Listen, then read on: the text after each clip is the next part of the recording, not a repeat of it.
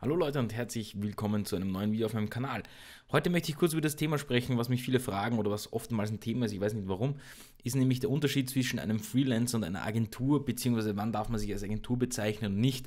Da habe ich für uns einen, ähm, eine Webseite rausgesucht, die das relativ schön erklärt hat und möchte mit euch mal ganz ehrlich und offen darüber quatschen.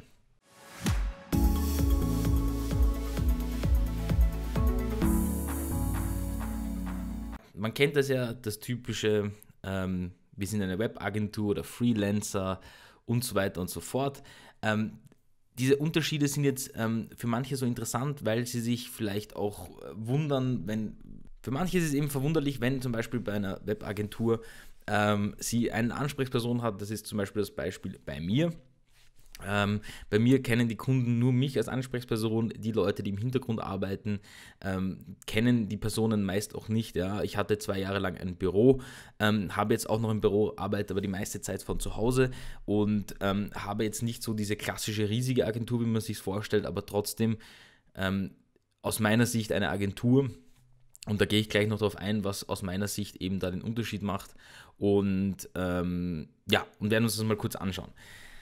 Also als Freelancer grundsätzlich mal zu bezeichnen, weil als Webdesigner kann man natürlich auch Freelancer sein, Grafiker und so weiter. Das ist, dieser neue Begriff, äh, dieser moderne Begriff, das gibt es bei uns in Österreich per se jetzt in keinem gesetzlichen, ähm, in keinem gesetzlichen Rahmen wirklich reguliert.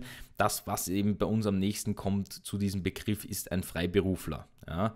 Ähm, jetzt ist es aber so, ähm, dass ein Freiberufler per se ja auch ein Gewerbe benötigt, im Normalfall, um das Ganze zu versteuern, genauso wie man das als Agentur benötigt. Eine Agentur kann genauso äh, von einer Einzelperson sowie von mir geführt werden, ist aber trotzdem mit mehr Leuten. Es kann aber genauso gut sein, dass eine Webagentur mit äh, einer GmbH-Struktur, OG-Struktur oder sonst irgendetwas gemacht ist.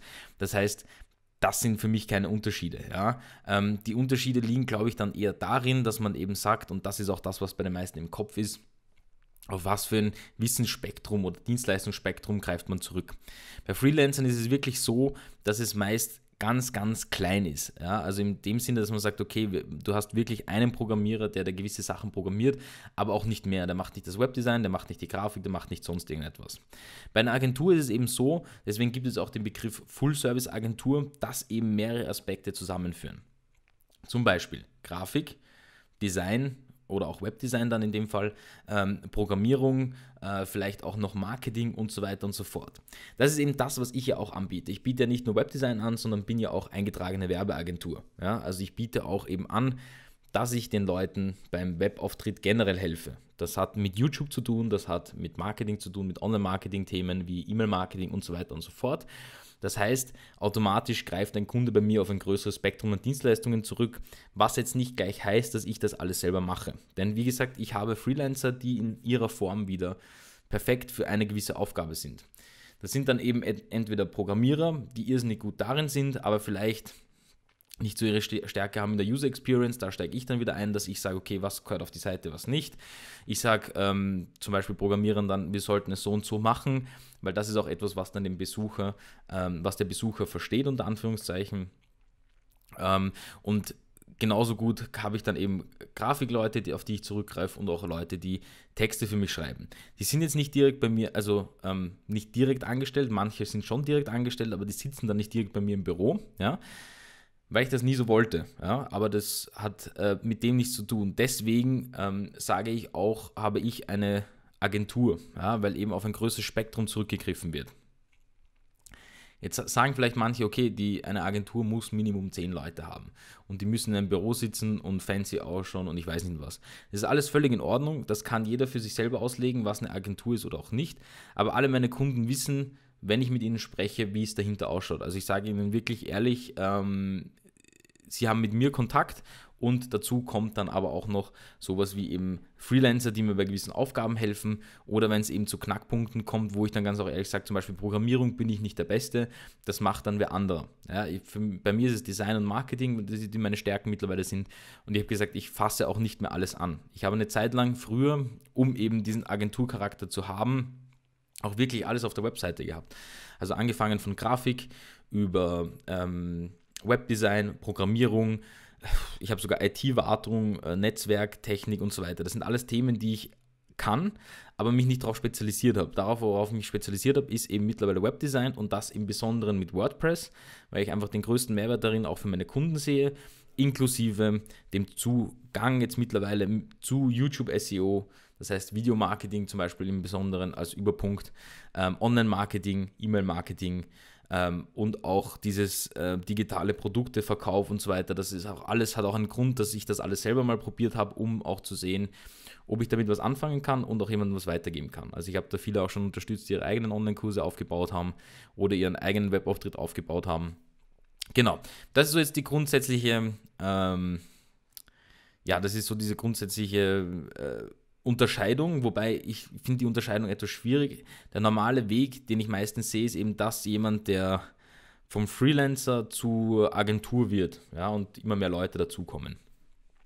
Weil im Endeffekt, wenn zehn Freelancer in einer Agentur sitzen, die jeder einen Part hat, ist es, also, oder zehn Freelancer in, einer, in einem Raum sitzen und jeder seinen Part übernimmt an dem Projekt, ist es für mich schon eine Agentur, weil ja, jeder übernimmt seinen Part und das, der Kunde greift auf das Spektrum zurück. Was mir aber jetzt wichtig ist bei, dieser, äh, bei diesem ganzen Thema ist, ja, ähm, viele fühlen sich, wenn sie äh, reinschreiben, zum Beispiel Webdesign-Agentur aus Wien, fühlen sie sich schlecht, wenn sie vielleicht alleine noch derzeit zu Hause sitzen. Würde ich jetzt aber nicht machen, sondern es kommt sehr auf den Kunden drauf an. Wenn der Kunde euch ähm, ähm, auswählt und sagt, ich möchte von euch ein Projekt haben oder ich möchte von euch ein Projekt umgesetzt haben, dann fragt einfach, also dann seid einfach ehrlich zum Kunden und sagt, wie es ist. Also ehrlich im Sinne von, wie viele Leute in der Agentur sind, wer übernimmt was. Ich sage meinen Leuten ganz genau, wer was übernimmt und sollte einer bei mir im Projekt einsteigen, eben im Sinne vom Freelancing, dann wird er auch ähm, bei meinen Kunden vorgestellt, auch wenn nur äh, kurz, ja, aber die wissen genau, wer welchen Part übernimmt. Ja. Also ich bin da komplett transparent und möchte das auch so halten. Und das ist auch das einzige Thema, was ich zu diesem Freelance-Agentur-Thema sagen möchte. Ja, ich, ich, ich denke mir, jeder soll es machen, wie er glaubt. Jeder, wenn ihr eine große Agentur haben wollt, habt eine große Agentur. Wenn ihr eine kleine Agentur haben wollt, habt ihr eine kleine Agentur. Wenn ihr Freelancer haben wollt, äh, sein wollt und seid Freelancer. Ähm, das geht ja auch mit ein in dieses digitale Nomadentum, dass man sagt, okay, ich möchte digitaler Nomade sein und bin Freelancer, der rund um die Welt, Welt reist. So geht es vielen meiner ähm, Freelancer, mit denen ich arbeite, die wollen gar nicht in einer Agentur sitzen oder so. Ist für mich auch völlig in Ordnung. Ich denke mir, da, da respektiert man einfach die anderen in dem Sinne, was sich für sie gut anfühlt. Genau. Das wollte ich dazu sagen. Das heißt, ich hoffe, das hat euch jetzt ein bisschen mal einen Einblick gegeben. Ich kann euch gerne dass es, ähm, diesen Blogartikel von Kopf und Stift da reingeben. Den fand ich ganz nett geschrieben, sehr kurz geschrieben. Und ähm, die eigentliche Frage, die dann jetzt noch aufkommt, und das finde ich fast interessanter, ist, ähm, in welcher Form jetzt der Kunde ähm, die Auswahl trifft. Ja, weil es geht ja darum, wenn ihr solche Dienstleistungen anbietet, egal ob als Agentur, Freelancer zu 10, zu 2, allein, wie auch immer, kommt es eher darauf an, in welcher Form kommt ihr zu den Kunden. Und ich glaube, beim Kundengespräch dann filtert sich ja eh heraus, was der Kunde sucht. Manche Kunden wollen zum Beispiel Freelancer, die eher ähm, flexibel sind, auch mal in der Nacht arbeiten oder nicht. Bei einer Agentur ist es halt wirklich so, so wie bei mir, zwischen 9 Uhr, sage ich jetzt einmal, und 17 Uhr kann man mich erreichen. Ähm, es ist auch so, dass es in diesen Zeiten geschieht, ähm, sprich dort arbeite ich dort auch für meine Kunden und bin auch für diese erreichbar. Freelancer sind ein bisschen anders oder äh, dieser typische Freelance-Charakter, den die Firmen im Kopf haben, ist eher ein bisschen eben dieser digitale Nomade, der rund um die Welt sitzt, mal da anruft, mal nicht. Der hat, der ist dann, lebt dann vielleicht auch in verschiedenen Zeitzonen, weil er immer herumreist. Das ist dann alles etwas schwierig. Ja? Also ich weiß das selber von der Kommunikation mit einigen meiner Freelancer, da kommt schon ein bisschen schwierig, ja, weil da fragst du ihn, ähm, der Kunde hätte gerne morgen in der Früh das Ganze und er hat gesagt, hey, bei mir ist es zwei Uhr in der Früh und ich bin gerade am Schlafen gehen. Außerdem morgen in der Früh muss ich am Strand noch etwas machen das ist halt nicht dieser Agenturcharakter, den man hat. Ja? Und bei mir hat es ganz klassisch einen Agenturcharakter, weil ich immer erreichbar bin und auch immer da für meine Kunden bin. Das heißt, schaut euch das einfach an. Ich glaube, es ist einfach nur eine Sache von, ähm, wie man das dann mit dem Kunden kommuniziert, weil der Kunde möchte, und das haltet immer im Hinterkopf für alle, die eine Agentur aufbauen wollen, haltet im Hinterkopf, dass der Kunde kommt zu euch, um ein Projekt umzusetzen oder der möchte ein gewisses Ziel erreichen. Der Kunde kommt zu euch und sagt, ich habe eine Idee von einer Webseite, könnt ihr mir die umsetzen? Und wie er an das Ziel kommt, ist dem Kunden meist relativ egal. Der möchte einfach nur eine gute Betreuung haben, das Endresultat muss passen. Ob er das allein macht, mit Freelancern, wie auch immer, pff, völlig egal. Ja, also das könnt ihr euch selber aussuchen, deswegen könnt ihr auch selber sagen, wie ihr euch wohlfühlt. Wollt ihr eine Webagentur mit Mitarbeitern, wollt ihr keine? Ähm, wollt ihr nur als Freelancer auftreten? Wollt ihr als Agentur auftreten, seid aber allein. Genau, das wollte ich euch mitgeben.